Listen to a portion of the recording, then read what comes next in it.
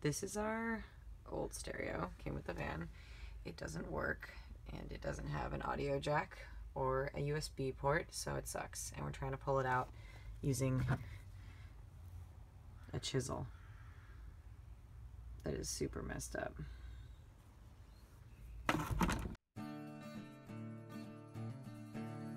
Hello! Michael and I replaced the stereo in our Sprinter van. The standard stereo that it came with actually kind of sucked. I have it right here. This is the actual radio itself. So this is our old stereo and um, this is the factory version.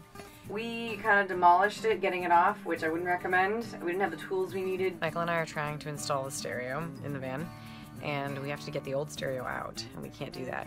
So we're basically jerry-rigging um, some kind of prying out process. It worked in a pinch. It came with just a CD player and AM, FM, CD, but it's 2016 and doesn't have an audio jack, didn't have a USB port, the radio wasn't very good. Although this wasn't essential to us building out the Sprinter van, definitely something that we wanted to replace because this thing kind of sucks. So, one that we got has HD radio, iHeartRadio, satellite, all this stuff. It was only about $120, so it's not that expensive. The stereo itself came with these little like hooky thingies that you slide into these slots that you can't see. We did this the wrong way. We ripped off the faceplate and then took out the stereo. If you have the right tools, this is what our stereo came with. These are not the right tools for the Sprinter van. Um, the ones for the Sprinter van are like three pronged and have a special little clip. You slide it into here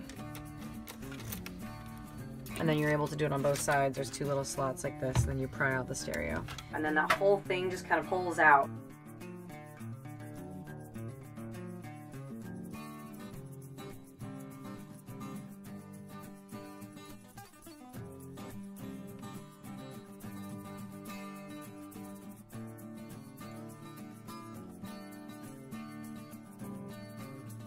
But you'll need a stereo and you'll also need a new wire harness. So we had to buy a new wire harness. That was like $17, wasn't very expensive. That just plugs directly into the standard um, plug that you'll see once you pull the stereo out. And you unplug that from the back. And there you have stereo. It has built into it this little plug here. This is where the FM radio is connected this is the new one that we got. It didn't come with one, um, so we had to end up buying, or Michael just went and bought this little adapter piece. Audi, BMW, Volkswagen antenna adapter cable. So this plug right here goes into the back of ours. And then this blue wire connects to the power control. Um, so then this is how we're gonna get FM radio. You will have to do a little bit of soldering. Michael used to be a jeweler, he's very good at it, and so he had a soldering set. He had solder and he had the hot little pokey thing, and I don't know what it's called, and uh, Michael and I soldered it back together.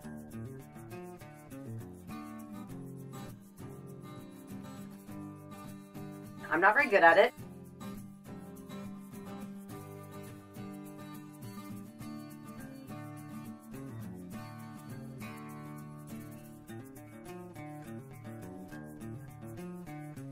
We soldered the wires together. Fortunately for us and for you, the wires on the wiring harness all match up to the wires coming out of the back of your stereo. These are all color coded, so um, we have to solder these wires to these wires, and then this just plugs in so when we were looking at this, there's like all these wires that are coming out of the wiring harness. You have to connect them all to these wires that are coming out of the back of the stereo. We're like, oh god, we don't have a guide for this. We did a little more research. It turns out that blue goes to blue, red goes to red, black goes to black, yellow goes to yellow. So once you have that, slide it back in.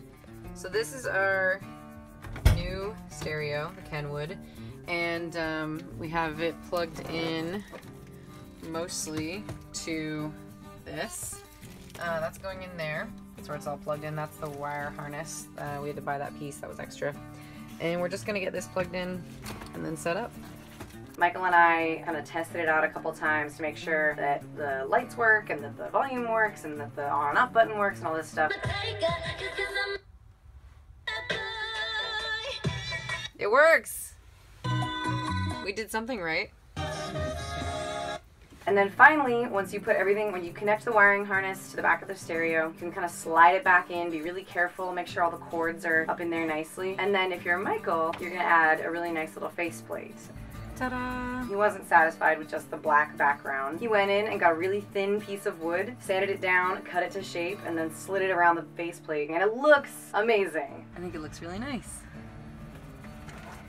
The um, so Michael took wood right here, and this faceplate actually comes off. I just push this button down enough. So he slid it on around this and then this just goes back on.